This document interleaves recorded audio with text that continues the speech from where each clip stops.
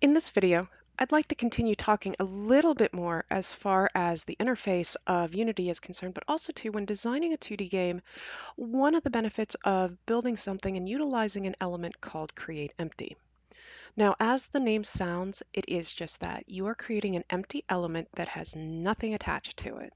However, that's the beauty of this element, is because it is a completely blank slate, we can attach components to it without it being seen. And in fact, right now, in the start of the game that I have here, as far as the bouncing ball is concerned, I have two empty elements named Game Over. And what they each have is a box collider 2D on them. But before we get too far into those, let's just actually make an empty object, just so you can see what one looks like. To make an empty object, you just right click, and it's actually the very first option, even above 2D. Create Empty is viable in both 2D and 3D game design and development. So there you can see it makes the game object for you. It is literally, that's it. You can't see anything. All you have is the position, rotation, and scale elements to it. And you can even see over in your inspector here. You've got the game object, but you can add components. And this is where the real power of these come in. Not only can you add components, you can attach scripts to them as well, and they can act as interactive elements here in the environment. To demonstrate to, to you, like if I start playing this game right now, so what I have is just a ball bouncing, and I'm going to go ahead and kind of push it off to the side here. And you see how it disappeared when it got too close to the edge.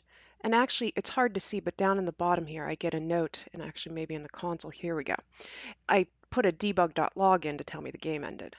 What had happened is it had hit a specific empty object that I called game over. So if I go ahead and jump back out of that there, you can see the two game over objects here. So what they're doing is each of these have a box collider assigned to them. That way then it can go and act as a collider and have whenever the ball hits them, it not only disappears but it ends the game. So what I can actually do with this game object is I can go ahead here and I'm going to go ahead and we're going to rename and because of the scripts I'm using, I'm also going to call this game over. And then I'm going to add a component and we're going to add a box collider. Now notice what happens when you add in that collider. Now we actually see something happening with this empty object here. So now I can kind of pull it over. I can actually come in and I can scale it up if I want to. Make it a little bit thicker there and then reposition. So now if I select all three, you can see now that I have a setup here as far as blocked areas for the game there. Now, some other things I might do is I could add some tile maps to be attached to these elements. I could even go so far as making, if I right click and say create empty, and maybe I call this borders. And I select these three and that can help keep the hierarchy a little bit cleaner. So now I can kind of minimize and maximize that area there as far as the game goes.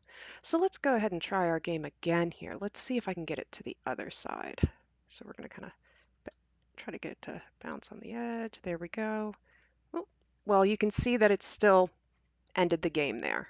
So even though I made this empty element here called borders, and these are now sub-elements to borders, it's still being recognized by the scripts. Now, the question though, what is actually happening with the scripts here?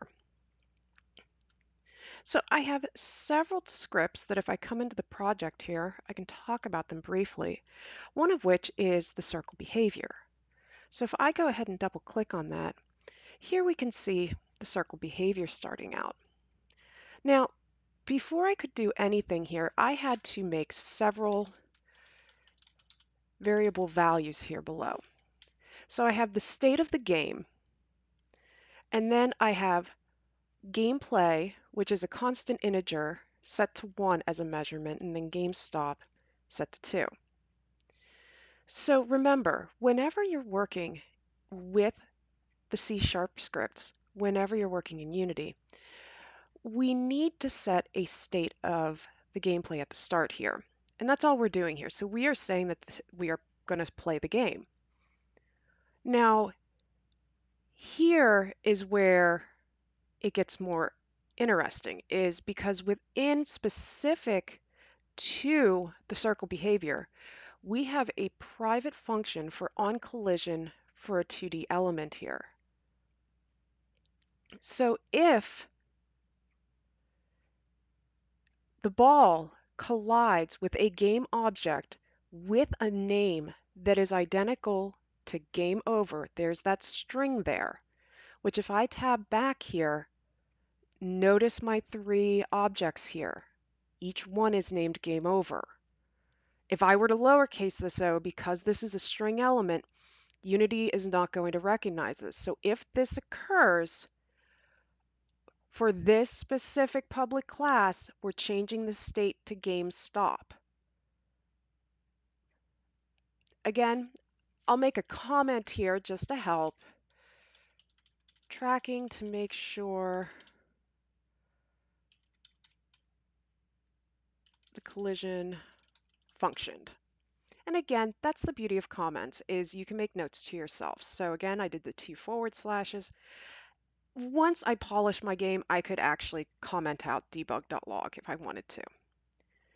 And then as the game plays, remember that update, it's called once per frame here, that if the state is game stop for the class circle behavior that is attached to our circle, what I did here was we just tossed in as far as that specific game object it's attached to, in this case the circle, I set it active to false, which that's why you're seeing whenever we play the game.